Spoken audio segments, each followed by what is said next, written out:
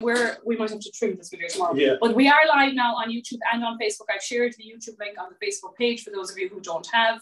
Everyone should be able to access YouTube. We're delighted to be here in Harold and Jean, Qualters' house, our, our um, off-base museum centre today, and we're delighted to have Chef Michael Kiernan with us.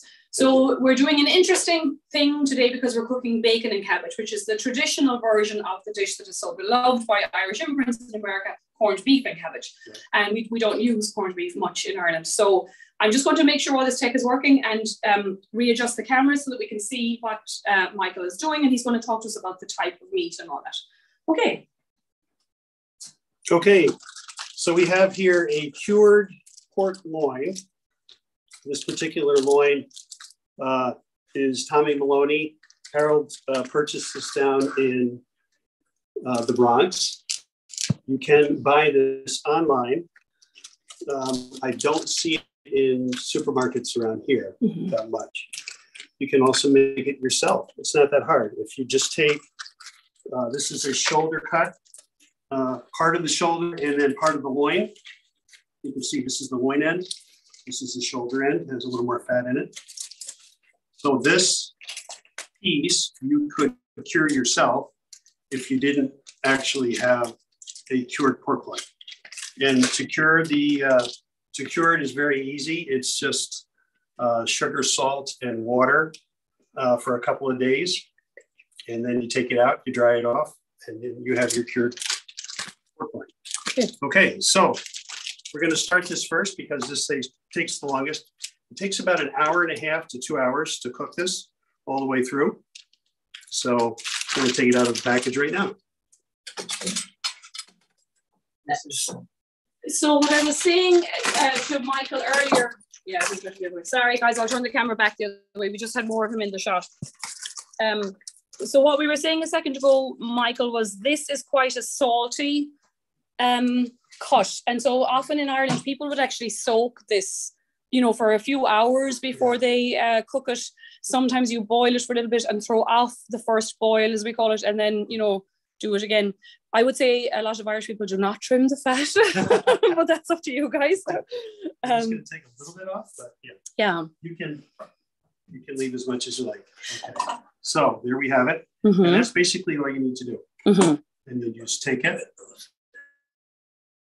And this is way behind you. We have a pot of yeah, yeah, that's okay. Boiling water ready. And it goes. Yeah. Like that keeps playing don't watch that much So the water should be over the top. Mm-hmm. So I need to put a little bit more water. Yes. So this needs a, a, good drop of water, as you say, you cover it. now, I will say people in Ireland have huge pots for yeah. this. You know, so you could use a pressure cooker without putting the pressure cooker thing on it.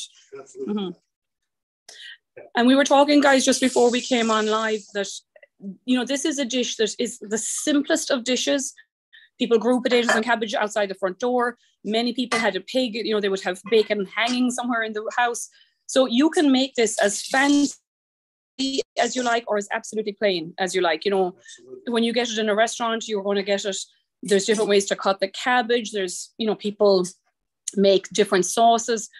People at home might just serve it with a little bit of mustard. You know, uh, we're going to make a parsley sauce today, and I will say my own family use parsley.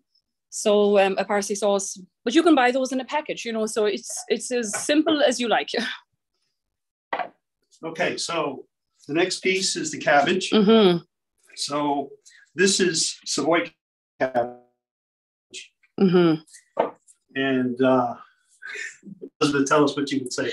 Well, so I was going to say we do use this cabbage, but we have I meant to Google it. We also have a kind of a flatter. I think we call it spring, spring cabbage. cabbage yeah. So it's a bigger head and a flat leaf, not not pretty and crinkled like this one, and it's a very dark uh, on the outside. You know, so in Ireland, most people would just tear the leaves off and stick them in. And to be honest, we do it in the same pot as the bacon. Now you would have to be, you know, the bacon would be on for the first hour because maybe it's salty, you got to throw that out.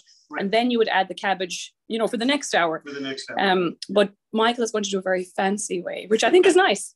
yeah. So this is this will take only a few minutes to cook. Yeah. It doesn't take as long. Well, and that's part of the problem, to be honest, with bacon and cabbage. I hated it as a kid because the smell Right. You know, that smell of boiling cabbage, you just can't get that out of the house, you know, for Right, right, days. right. And I think a lot of people have a hang up, you know, in a way about that. So this you're going to um tell me it was a French word again. Chiffon. Chiffonade. Yeah, chiffonade. It's going to be really thin. Yeah. And then you'll just saute probably. Uh, well, just boil it for Oh, the you'll boil. last few minutes in the same pot that I'm doing the potatoes. Okay, good. You can probably hear the plow in the background, guys. Who knew there would be a snowstorm the day we wanted to cook bacon and cabbage? So then the other piece of the recipe is, of course, the potatoes. Yeah. So Elizabeth, tell us about Irish. So of course in Ireland, I mean, if you had new potatoes, you might use them, but you know, things being what they were, you mm-hmm. you know, you would have to use produce that you. So if it's not in season, you don't have it. So a lot of people use the big old potatoes. Um, Okay. you know, you would, and again, some people boil them in the same pot. My nana, my grandmother, and my mother do not boil them in the same pot as the bacon and cabbage. They're done separately. Okay. But uh, some people love a one pot dinner. Mhm. Yeah, and uh, you know, these potatoes are tasty and they give a bit of color. You right. know, So yeah. these are more of a creamy, these are called creamer potatoes. Mhm. So they're better for boiling than say a russet potato. Yeah. More starchy and we would use that. Yeah, they look a little bit like our Kerr's pink, the, the pink ones, but they'd be bigger, you know, at home. Right. Mhm. Okay, and then the other piece of the uh, the dish is the parsley sauce. Excellent. Okay. So for this, we're just going to chop some parsley, hmm and there are a few different variations on this. The one we're going to make is with a little bit of flour and butter, hmm and we'll talk about butter. This is Oh yeah. Kerrygold Irish butter, hmm so that is the gold standard. Absolutely, it is. Yeah, and that's the one with the salt in. You could do salt free if you wanted, but we don't recommend that. Right. right. So then you just don't need to adjust the salt so much at the end, but yeah. yep, it works fine. So, Michael, is that a roux? Basically, you're going to make a roux Yes, and then add. to make a small roux, and then we're going to add some milk. Mhm. Some recipes call for chicken stock, Mm. but I think milk is Yeah. I would definitely not do chicken stock. I'm learning a lot today, guys. So yeah, so that's that's basically it. So okay. this is coming to a boil. So I'm going to walk over with the camera, if you don't mind, just to look into the pot. The, you're all getting a tour of the Qualters house. Sorry about that. so see that. So like it comes to a boil pretty quick. And as Yeah. I said, if you knew that it was a very salty cut, you could have soaked it for an hour or two before you ever start, you know, to cook. right. So that would be good. Yeah, Mhm. yeah. We'll taste it. We'll taste the water. If it's super salty, we'll switch it again. Okay. Mhm. Start. Mhm. Sorry, I'm trying not to show the house. but I think I totally misjudged that. So now I'm going to just put that down for a second and have a look on YouTube and Facebook to make sure there's nothing going horribly wrong.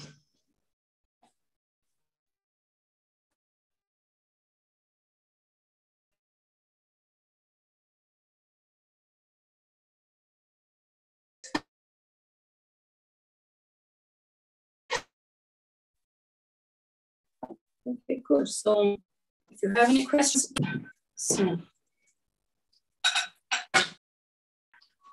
So, um, is this something you know you would make, Michael, yourself ever, or Yes, I mean Mm-hmm. traditionally, I my son is uh, Sean is born on St. Patrick's Day, oh, nice, so we always had a, a large crowd, Mhm.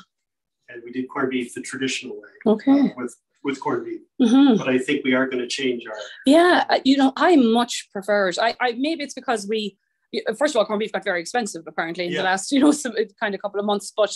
I do think this is a lovely dish. It's underrated, you know, Yeah. for such a cheap, I guess, meat.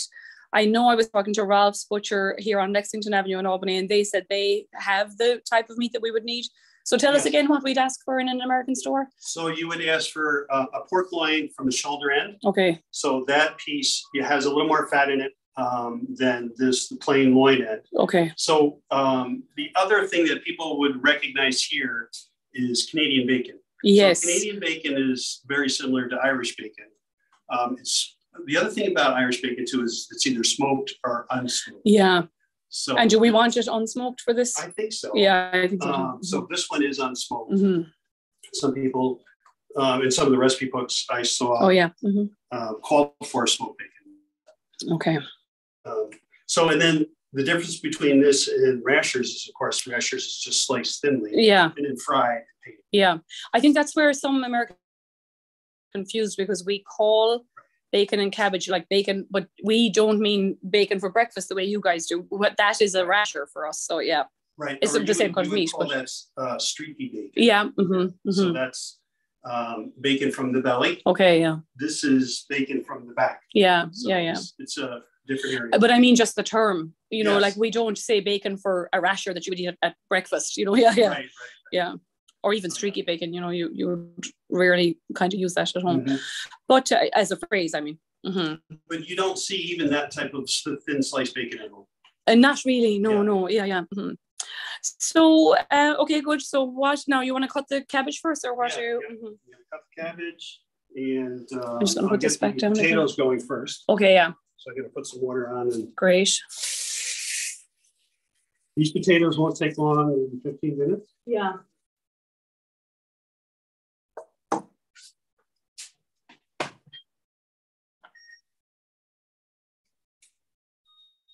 Um,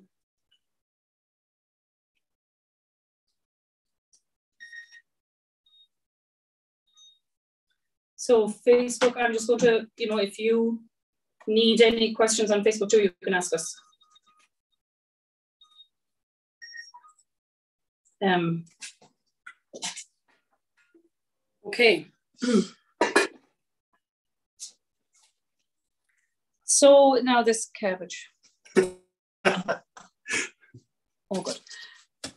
So apparently everything is fine on, on YouTube. We have a, a quality tester offsite, and she's assured me that everything is fine.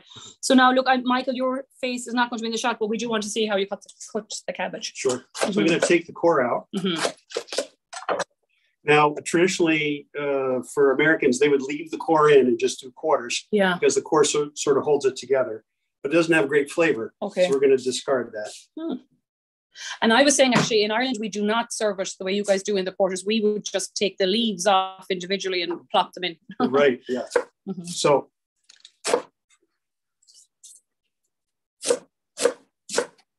And you know, you could cook this cabbage really like it with the sauteing or a stir fry later on in some other dish. Yeah. you absolutely could.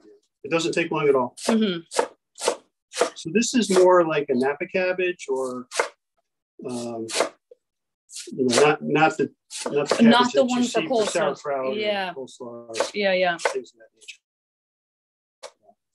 I mean, this actually, I love this raw too. Uh, You know, Yes. it's a nice, yeah, clean, thick. Mhm. And sometimes, if we're getting fancy, and I'm going to admit to doing this myself, I sometimes put fennel leaves on my cabbage. Oh, yeah. Fennel is a great yeah. great addition to this. So we're going to add this a little bit later. So Okay, yeah. not quite ready for that.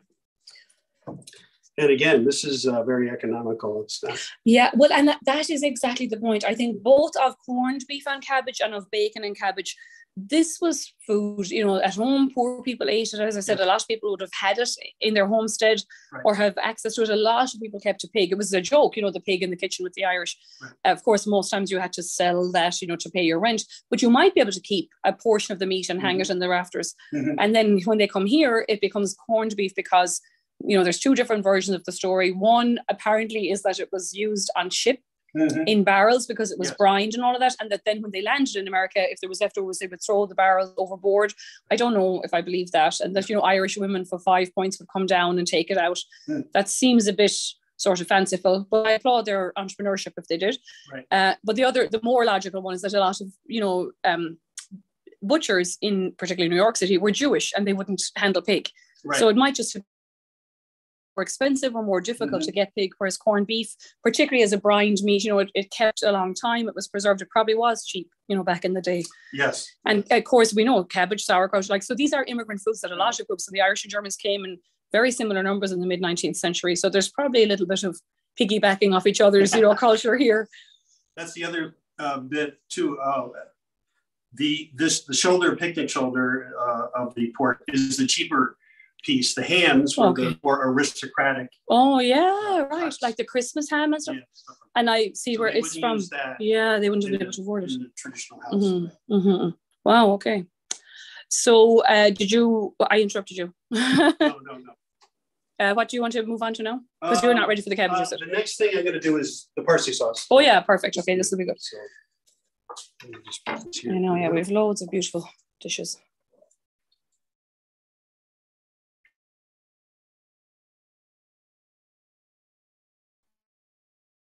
And now we're waiting for a uh, un, un, uh, what's the word? unusually quiet. Harold Qualters, did you ever make bacon and cabbage? You want to move in over there? I think you should. I'm going to try and convince him to get into the kitchen so that at least the volume can be picked up. he might not want to be on camera, but did you cook bacon and cabbage, Harold, ever? I've made one in my, uh, I made, made it once. Oh, yeah. Do you want to come in? Will I move a chair? Or I can move the camera. Hang on now. There he is. mm-hmm. But um, so you made it once. Yes, Was it a Many years ago. soaring triumph or no? Sorry, was it what? Was it a triumph or? Yes, it was a Oh, it triumph. was? Okay, Yes, good. it Of was- course. It was definitely, uh, it was definitely a tri- a triumph. Uh, the pressure's on. uh, Yeah, Jeff. right. Yeah. Yes. Well, I don't want, you know, poor Michael is trying to talk and cook. Well, and so Harold, this is your idea to do this series, you know, where we bring the tradition and culture of Irish We cuisine. We had a wonderful conversation and Mhm. yes, Several. we decided that we were going to really do yeah. uh, to show that uh, there really truly is an Irish cuisine. Yeah. Yes.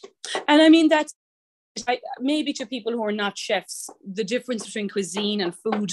You know, do you want to elaborate on that? Like that there is actually, there are native dishes, there are native kind of indigenous ingredients uh, that we use in Ireland that should be sort of preserved. Yes. hmm Michael's Um, nodding emphatically too. We have um, the just the sheer um, uh, amount of cookbooks that are coming out of Ireland now, Mhm. or in the past 20 years. Um, the revo- it's really a, it's evolving. Irish cuisine is re- uh, really evolving. Um, it's definitely not a contradiction in terms any longer. No, right. And you know, I think what's so interesting about this is we don't get enough credit, I think, in Ireland. We've been farm to table for 25, 30 years, you know, and, and I mean, if you want to go back for 200 or 300 years, but I think what happened was we often were a culture with food scarcity. And so, you know, particularly the potato famine, you had a, a peasant class, at Mhm. least 25% of the country, absolutely dependent on the potato. Um, they didn't have time or they didn't really have the resources to be innovative with their cooking, but they ate nutritious food when they could get, and like we do amazing things with seaweed and with, you know, periwinkles and cockles and mussels and all these things. Um, of course, an island, but you know, during the Great Hunger, they couldn't, they couldn't fish. They weren't allowed to fish because the landlord owned the rivers, you know, or they pawned their nets. Right. So I think Ireland is kind of misjudged in its food sometimes. Um, Yes. mhm. And now, you know, real renaissance where it's become Four from the minute. first place and, uh, you know, with the cook school, uh, Myrtle Allen. And, uh, Yeah. And I think, you know, it's a great reputation for spirits and distilling, but even the distilling coming on, like they're using bottles, it's it's not just porter or it's gin with juniper and berries and all of these other things in them. Um, so yeah, I, I think it's a good thing for Ireland, you know, to finally use our freshness, our variety. And I would say, you know, Ireland now is a bit of immigration. There's more people coming in for the first time in our history. Mm. So there's fantastic fusions going on. Great ingredients and techniques that I think you know are new to them, but and they're not afraid to experiment. Exactly. Mhm.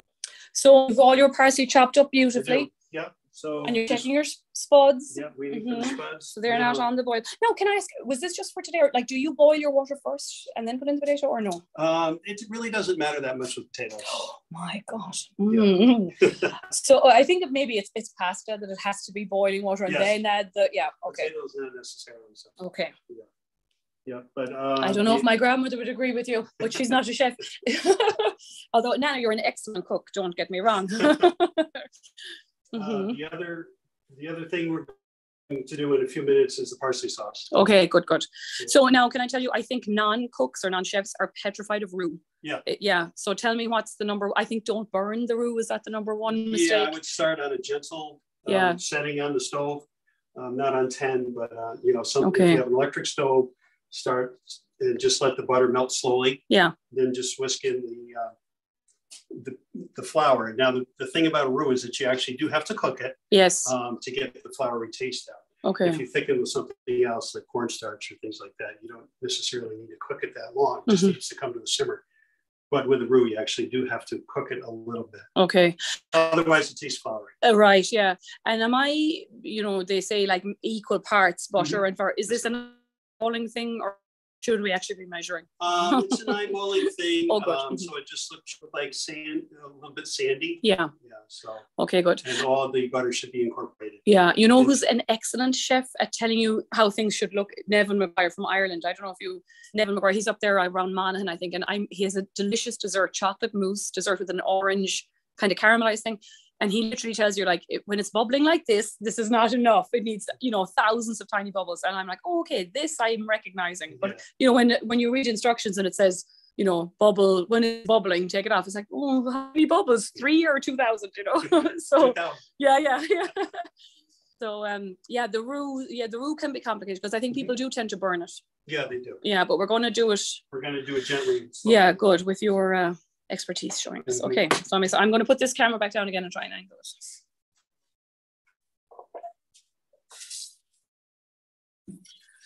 um so we're while Michael is washing and prepping that's I love to watch a chef clean as he goes. They say that's a good sign of the kitchen.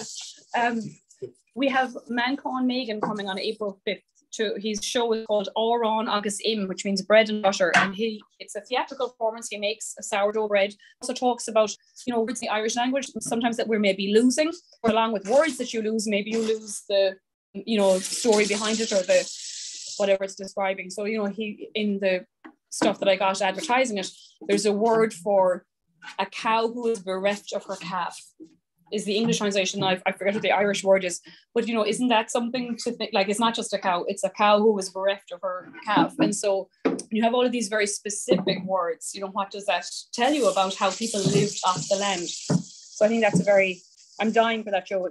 Um, he's doing about 18, I think, shows across the country, and we're one of them in, in Albany on April 5th. So check out our Facebook and website, and you can buy tickets there. $25 for non-members and 20 for members. Um, so yeah, now, so I, I see you were heating the pot first. Well, that was just because the ring was hot, or The ring was already hot. okay, yeah, the ring was already hot. So uh, just turning it on the back. Uh, this is our uh, quality control center here. but I'm delighted we're doing this in a home. It's you know very nice. Yes, Mhm. it does make sense. Yeah. Well, that's it. You know, we don't have a commercial kitchen, unfortunately. So But this is a homey, a home cooked meal. so- it is, and that's you know, as I say, that's the joy of this. Like, if you don't want to cut the cabbage Oh, sure. fancily, or if you don't want to white parsley sauce, you know, you can put mustard or or a one. There's a, a brand called Chef Sauce at home. Mhm. A lot of people use that. Let that melt completely. Mm-hmm. It's another thing. So the butter melts before you add the flour. Okay, Yeah, yeah. I may have been doing that wrong all the time.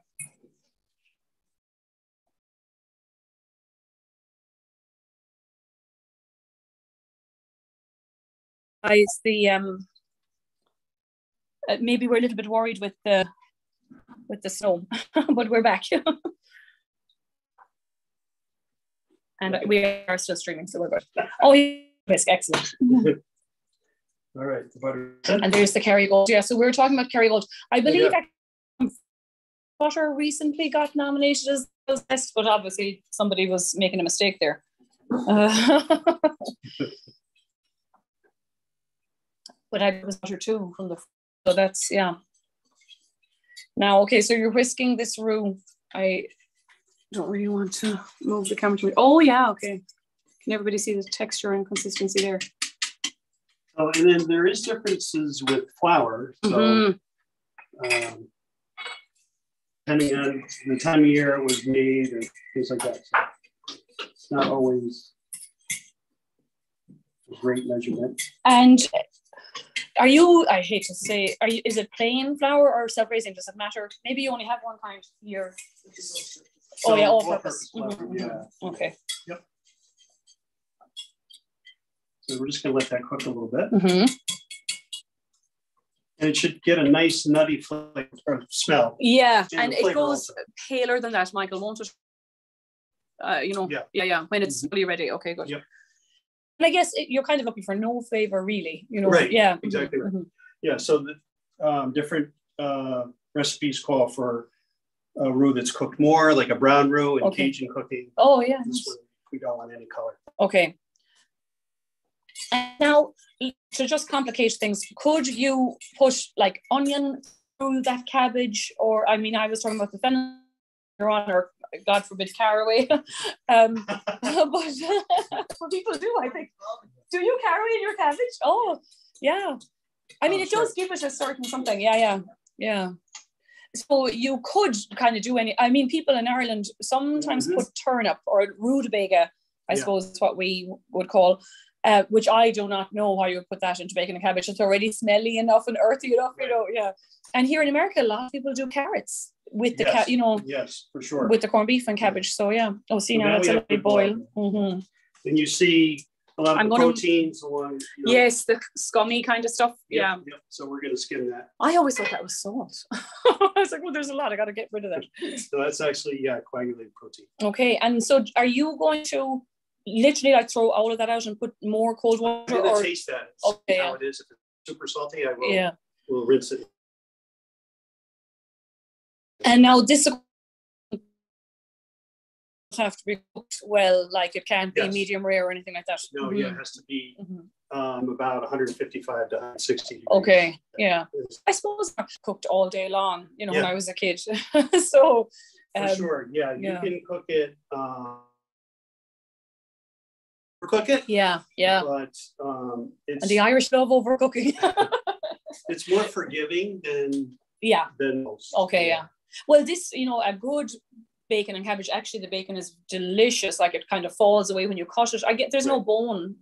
There's no bone in Yeah, yeah. No, yeah. So it Yeah. falls away and you can kind of get stringy, you know, yeah. Mhm, It's a lovely meat. Yep. Yeah. Mhm. All right. So this the roux is ready.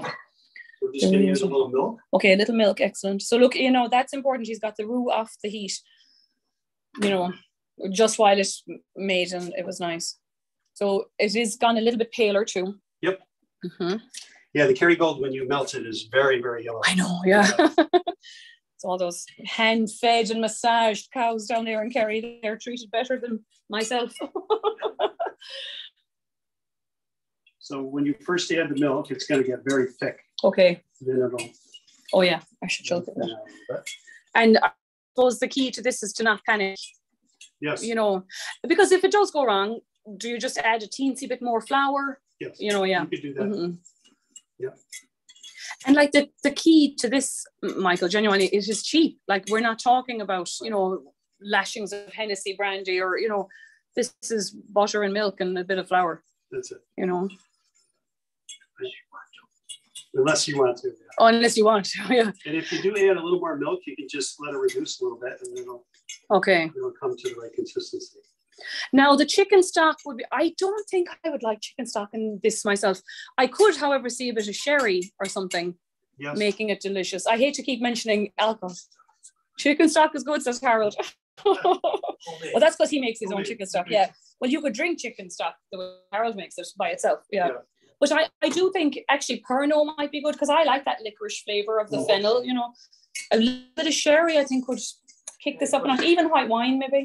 Jameson never, never. And goes wrong. Jameson never goes wrong. But we wouldn't waste the Jameson in the cooking. Now, as far as the consistency, um, uh, it should just coat the back of a spoon. okay. So we, I'll show you that. Okay. Oh, yeah. Can you see that? Nice. Okay. Yeah. All these little tricks that we get. Yeah. Mm. And then you just add the parsley. Okay.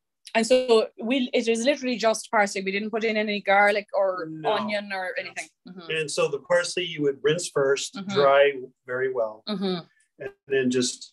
And it's Uh, regular. What do we call it? Is it the flat parsley or cur- no uh, curly? This is a combination of curly and flat. oh, a combination. Yeah. See, So, Okay.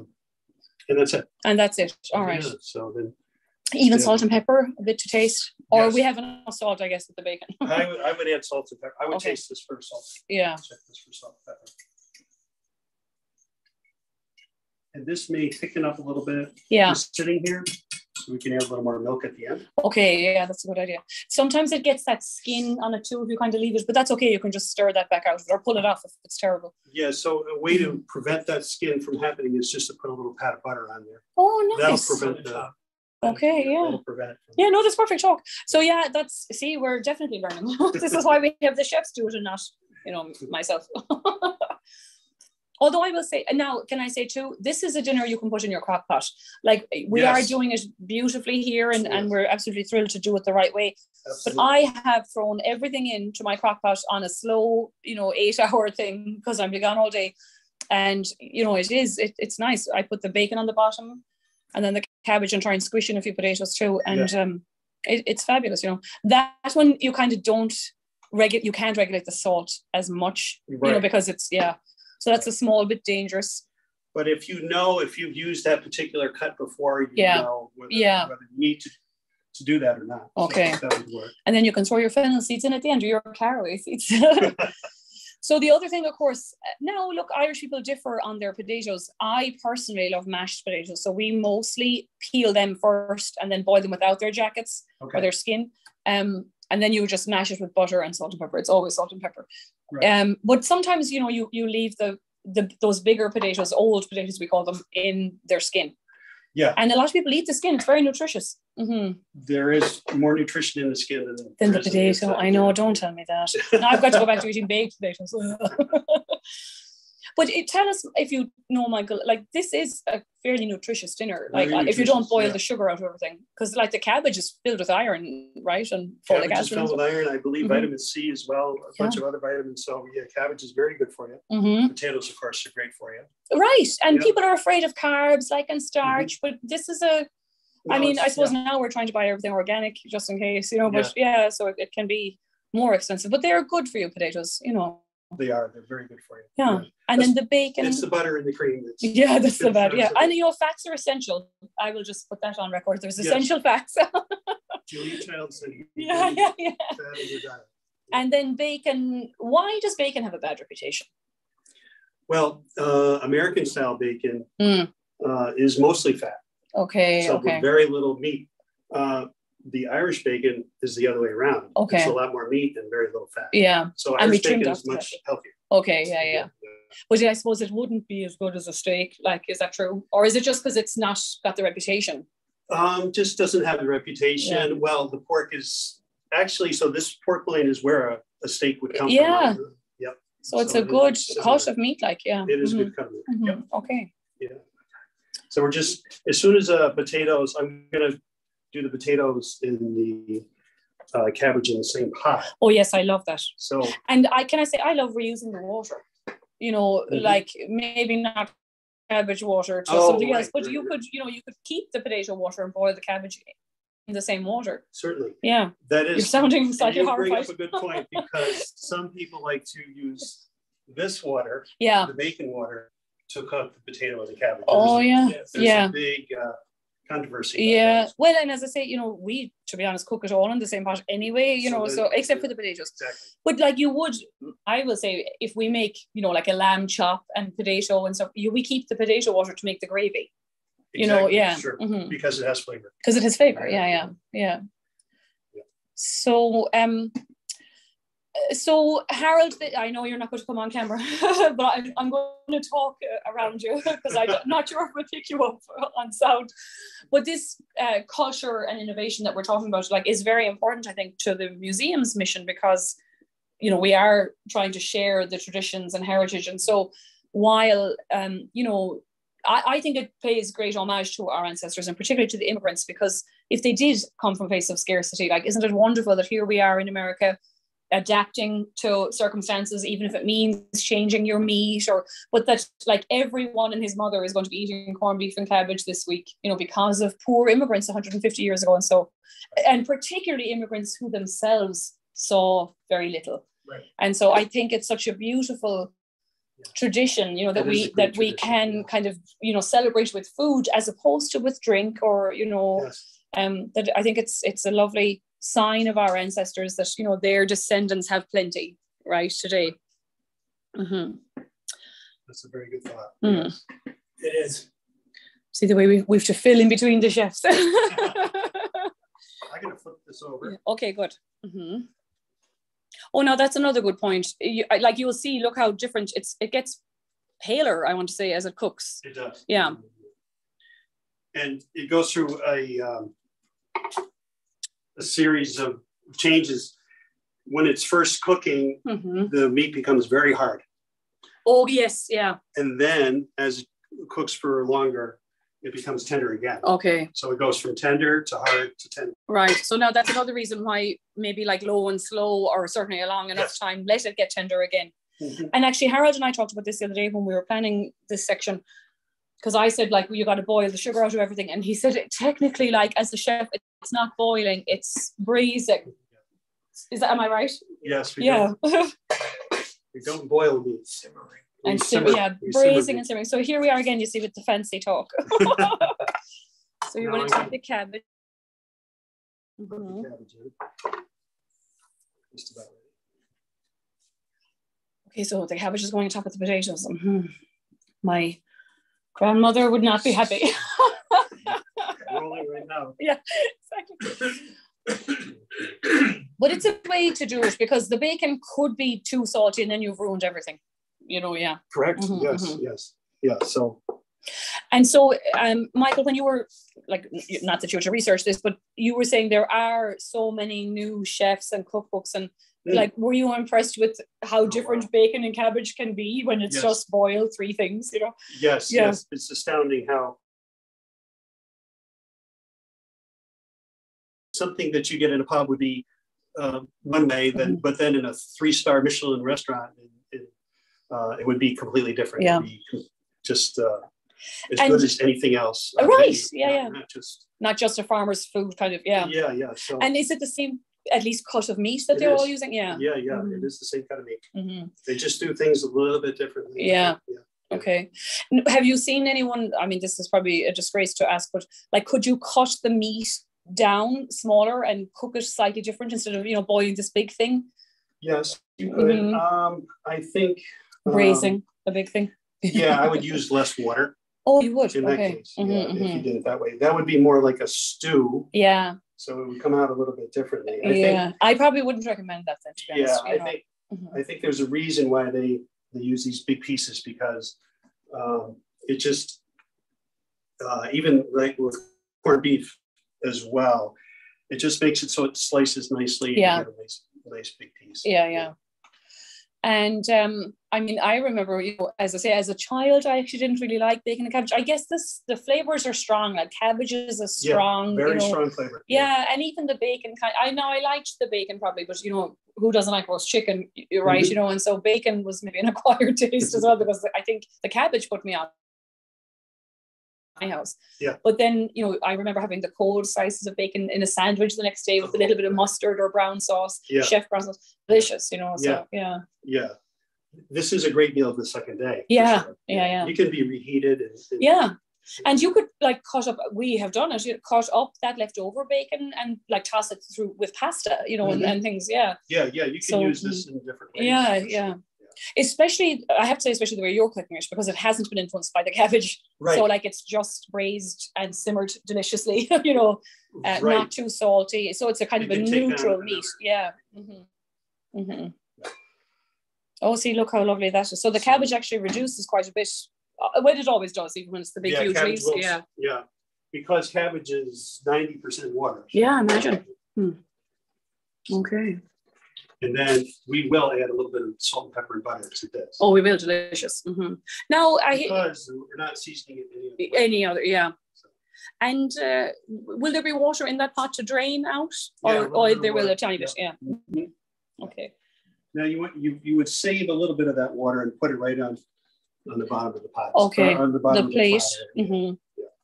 Now, see again, that's a kind of a fancy technique. So then that would prevent the meat from drying out, I Sure. guess. Yeah. Yeah. And maybe keep it out of it too. And then you would use a little bit of the broth from here. Yeah. Oh. mm. Yeah, that would be good. Mhm. Now, just speaking of all that, what would you pair this with? Like, is stout genuinely too heavy you know, Yeah, with bacon and yeah, cabbage? Yeah, I would say maybe something like harp. Yeah, harp would be good. Okay, yeah. We may or may not be sampling this later on, so I'm inquiring. Hard hard cider. Hard cider, Oh, hard delicious. cider Apple and bacon, of course. Yeah, Yeah, I fabulous. did see some recipes. We have Magners. Yeah, Mm. where they actually use cider. boil. Yeah, Yeah. yeah. In the in the bacon. in Yeah. bacon, yeah. So I will tell you a horrible story, and don't if my grand aunt is watching in Ireland, hopefully she won't catch me out that I'm talking about her, but now I've outed her. I don't think it's quite the same bacon cut that we use at Christmas. But many people in Ireland, you, it's this kind of a thing, and you, you would boil it a couple of times, and then most people finish it in the oven. And some people boil it in Coke or cider, Oh, Coca Cola. Okay, Yeah, like not the first boil because you've got that salt content. Right. Um, and then you know you can kind of cover it with cider or something and put it in the oven. We do we do cloves and honey. Mm. Um, you know, on the skin. Yeah, it's delicious. But and then that's because we do ha- Christmas uh, turkey and ham. You know, at Christmas. Um, There is a Coca-Cola ham Yeah, that they do here. with apples that are so abundant in, in Ireland. yeah, being, uh, and pork. Yeah. and Apples. Yeah. and yeah. Cider and. Pork and apples go very, very, Very well. together. Well, if I make pork chops, I just basically like saute them and then I throw in apple juice or like apple cider, but not hard cider. Mhm. Um, and, and sliced apple and yeah. Mhm. Yeah. So yeah, that's a good. I'm glad I asked that question. And yeah, don't put Guinness with this. It's too heavy. Yes. I don't need to tell you what the cabbage does to your body as well as the Guinness. like it's too much. So cider is an excellent pairing, Yeah. or harp if you must. Right. Mhm. These potatoes are just about ready. Okay, good. Now that's actually I will say convenient that you used those smaller potatoes. They're not quite new. You know the Not tiny, new, tiny baby ones. Yeah, but they're um, they don't take as long to boil as the other ones. Yeah. hmm And so lids on, that's interesting too. You know, the lid is on the bacon the whole time it's been closed. Uh, Yes. you, we did not have to throw off a boil. Am I right in that? Well, Oh, we haven't checked. check. Yeah. yeah, mhm. we might have to. So I'm just now she does her cabbage round too. I'm just going to put a, a picture in front of the um, camera. It's from the Irish Pub Cookbook, and look at that there. That's from Margaret Johnson. Now she seems to be pairing hers with maybe cider. Yeah. Yeah. Or you know, I'm just after thinking like Killian's or something like that could be nice Mm. too. Killian's, yeah. hmm I wouldn't have done the cabbage like that myself, but I don't own a restaurant, so nobody's interested in my opinion.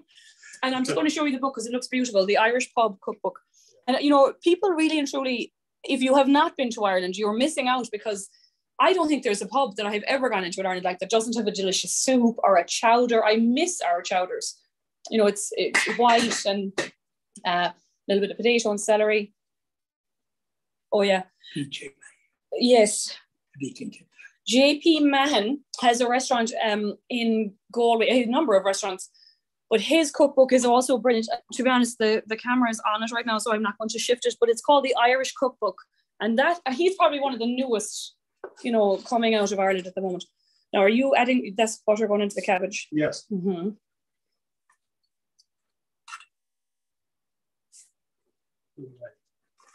Yeah, that looks fabulous. So that is just about ready. Okay. We have a sauce, and this, of course, will not be ready, but we have No. mhm. we'll have something else. Exactly, yeah. So the the pork, I mean, I suppose we've been on for how long now? 45 minutes. Or, so that pork is really, our pork, bacon is going to take another, I would say another 45. yeah, I would say, yeah. Mhm. Okay, And so you can arrange this. I mean, we're not going to have it exactly, but I do have another piece of pork okay. that I cooked earlier. hmm Yeah, there, like there was no way we could keep you entertained for an hour and a half, two hours while we were.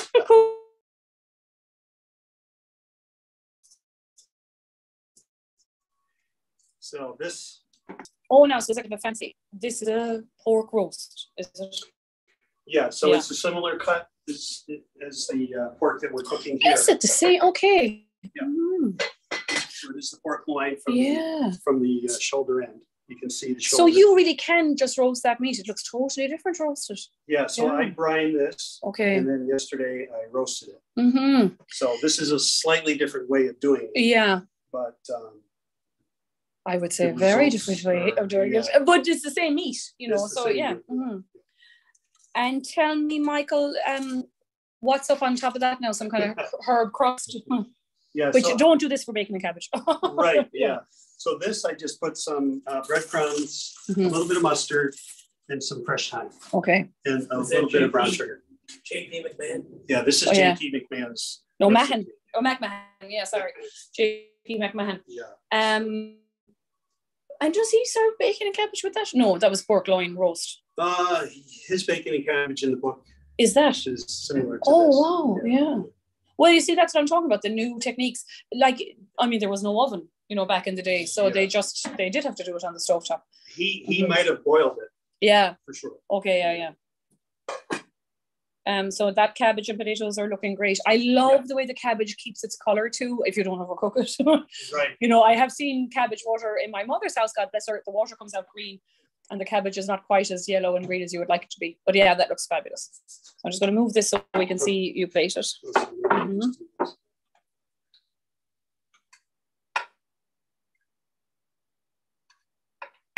And I mean, this was this really and truly is an iconic dish at home. I I can't tell you how disappointed I was my first, you know, March season in America when it was corned beef, and you know that was very rarely eaten where I'm from in Kerry. It was a luncheon meat. It's quite fatty.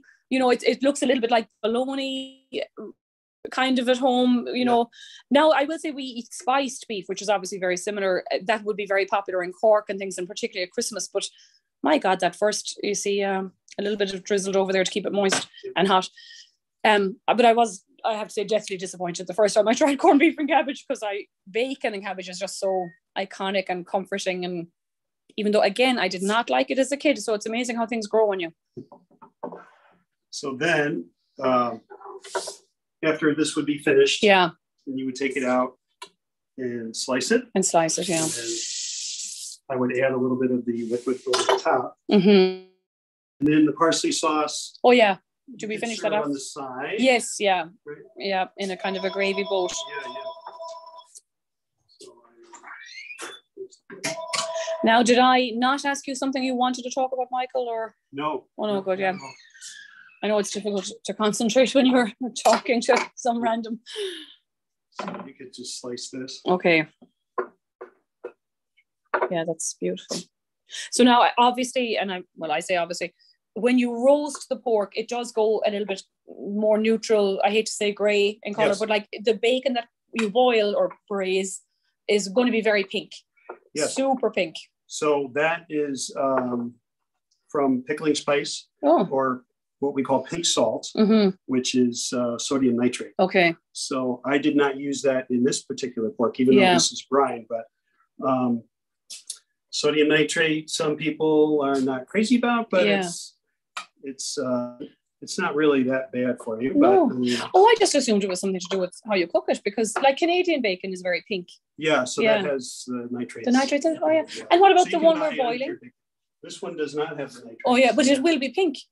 No, this will not. Be Oh, pink. it stays pink in Ireland. I don't know why that is. Yeah. Well, they Maybe there's nitrates in Ireland. there might be nitrates in this, Yeah. A little bit, yeah. Yeah, but not much. Okay, yeah. It's too pink.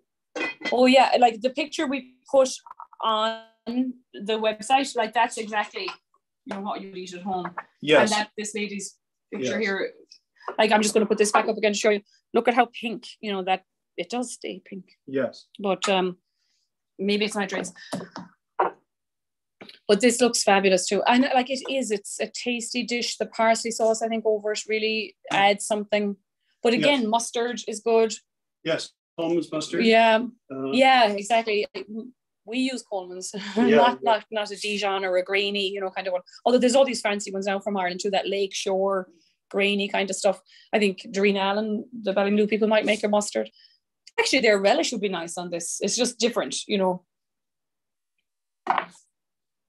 So how fancy does that look? It's delicious. Yeah. And you could put a little bit of the liquid over the top. Hmm You would, if you like. And now I if you do drizzle that liquid as you have done on the bottom, it's just enough to keep it warm, really. It's Yes. not enough to like re-cook it or, or limp it, you know, limp it up. Exactly. Mhm. Yeah. A little bit of that. Okay, fabulous. And then would you mind showing us, yeah, your sauce? Yes. So I'm going to reheat this a little bit. Okay. A little bit. And so I've been noticing on some of the food blogs and other, you know, American pub kind of foods, people are doing amazing, um, like, you know, little Reuben type sliders or dip with, you know, there are other ways of incorporating bacon and cabbage if you didn't want the full dinner that you could do a kind of a, a Right. parsley sauce dip thing with bits of bacon maybe in it or you know Sure. or I I mean potato and bacon and cheese puffs you know there, there's ways to do it uh, as a snack food you know too. Yeah, like a deconstructed. yeah exactly. Yeah yeah. Um so no this does all look fabulous. Now yeah so you've just thinned out the roux there with some of the potato water. That's good. Mhm.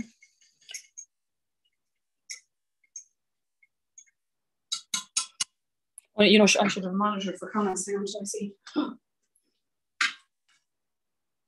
I hope there's a hundred questions on YouTube when we haven't been monitoring it. Um, Can they call in? they can they can type in. Mhm.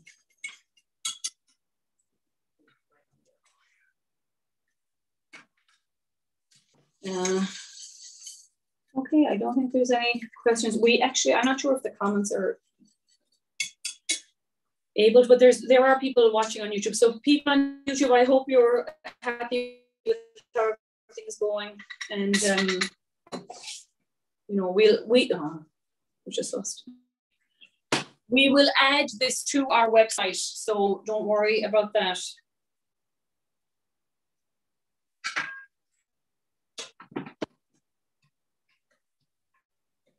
We haven't lost contact here. I, I don't think we've lost contact here. My web, my internet is spotty. But anyway, we will put this on the website and on YouTube, uh, the Facebook page again. And now there's the, yeah, into the gravy boat, lovely. So that parsley sauce is perfect. Yes, hmm. Because you don't want it too thick. not too thick. Yeah. Yeah. Mm-hmm. Okay.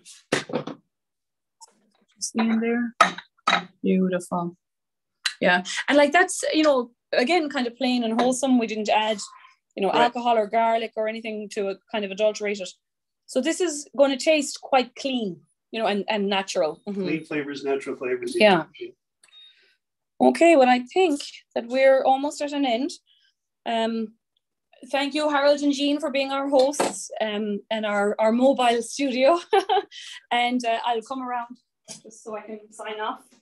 I think we're back. I hope we're back. Um, you know, thank you to everybody for tuning in. Yes. Thank you to you for cooking. I'm really happy. And Beannachtaí Lá Fhéile Pádraig, which means happy St. Patrick's Day.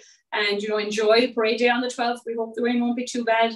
And you know, try, try making bacon cabbage. It's easy. You can't really go easy. wrong, just boil it, braise it. and you know, do so in honor of your ancestors and maybe give the corned beef a break this And year. Michael, Michael will be back to do more. And Michael will be back to do more. He's being strong armed by Harold. But we're delighted to have him. Thank you for judging at the soda the other day. Oh, yeah. So for having me. enjoy dinner, everyone. Um, we don't have a bon appetit in Irish, but you know, ihama, which means eat well. and uh, thank you very much. Thank you. So good. Enjoy your St. Patrick's. Oh, and I'm just going to give one last look at how beautiful this is. Mm, wouldn't our ancestors have been delighted with that? No, So cheers.